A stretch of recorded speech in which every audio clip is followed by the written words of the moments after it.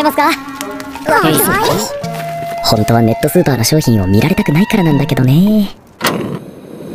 まずベーコンを炒めて安売りしてたキャベツと人参じゃがいもを煮込んで。おっとソーセージも入れないとな。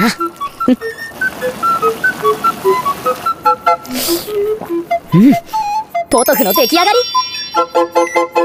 熱いんで気をつけてください。はい。あもしかしてスーポトフソーセージと野菜のいろいろ煮込みってとこですかね。いただきます。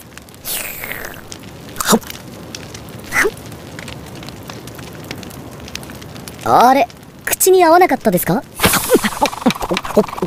向浦さん向浦さんおかわりある？プずるいあたいも！もし余っていたら。